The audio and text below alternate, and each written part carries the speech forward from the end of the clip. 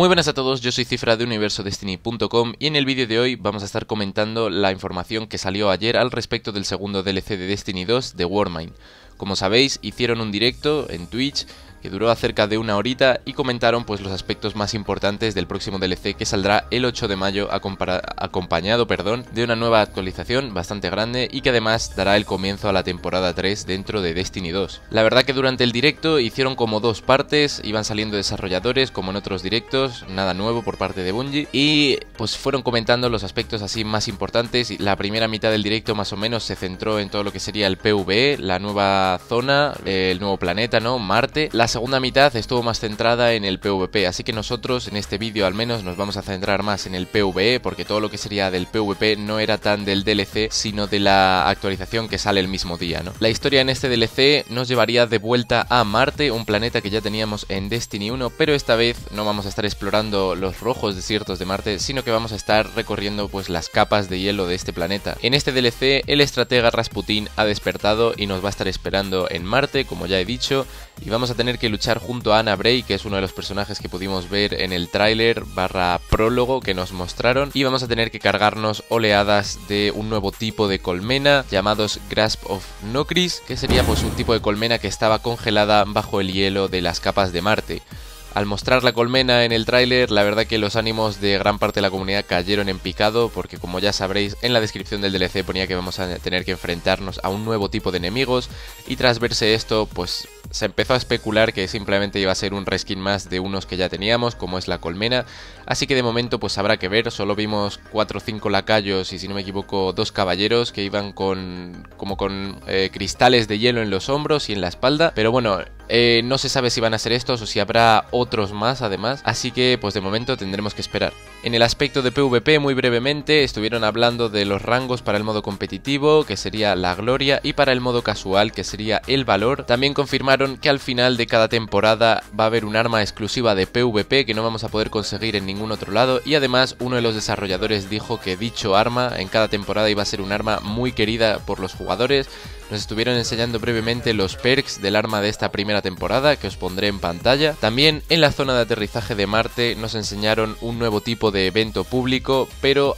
al contrario que en otros eventos públicos, este lo vamos a poder empezar nosotros cuando queramos y es que va a ser un modo por oleadas. Lo han comparado con la corte de Oryx, yo ni siquiera lo compararía con eso, pero como ya digo, va a ser un modo por oleadas en el que nos vamos a tener que enfrentar a 7 oleadas de este nuevo tipo de colmena congelada. Cada oleada obviamente más difícil que la anterior y en la séptima oleada saldrá un boss que irá rotando cada semana entre los 5 que el equipo de Bungie pues ha preparado para todos nosotros. Además, Bungie confirmó que este tipo de evento público, que se va a llamar Escalation Protocol, no lo he comentado antes, va a tener su propio set de armas y armaduras exclusivo. Cada semana, pues el boss final nos traerá también eh, loot exclusivo de él mismo, así que si no lo conseguimos una semana, pues tendremos que esperar 5 semanas completas hasta que vuelva a salir el mismo boss y poder conseguir pues ese arma o armadura que tanto queríamos. Las recompensas de evento público normal, porque ya digo que esto sería al final un evento público más, pues las recompensas, por si no conseguimos llegar al boss, nos las soltarán después de las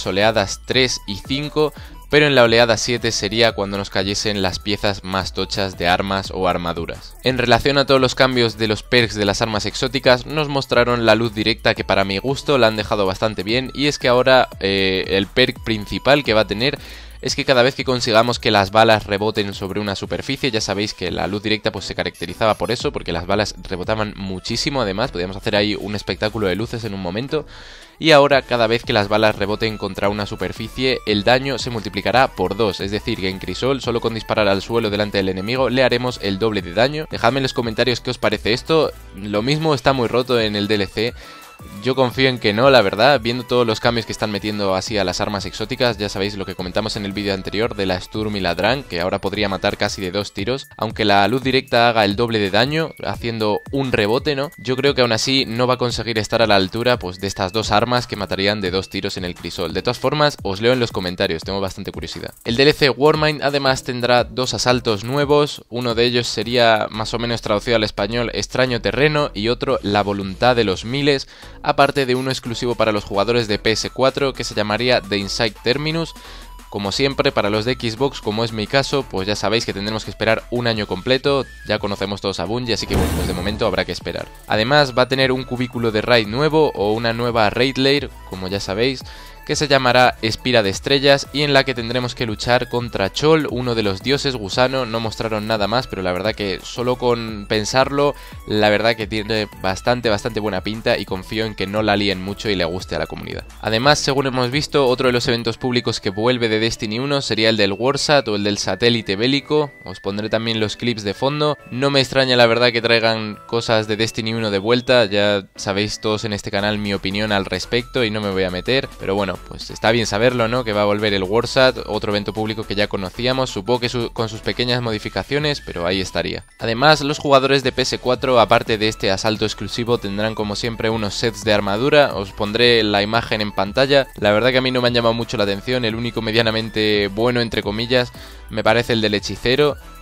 los otros dos me parecen pues, bastante feotes, no os voy a engañar, pero bueno, cada uno con su opinión, os leo en los comentarios y poco más habría que comentar sobre este DLC, la verdad, tendréis pues más vídeos sobre el mismo a medida que se vaya acercando la fecha, hablaremos también de todos estos cambios del PvP, tendréis análisis de las armas y los perks nuevos, de todas las modificaciones que van a hacer según los vayamos sabiendo, espero que os haya gustado este vídeo, dejadnos un buen like si así, suscribíos para más Destiny 2 y nos vemos en el próximo vídeo, un saludo a todos y adiós.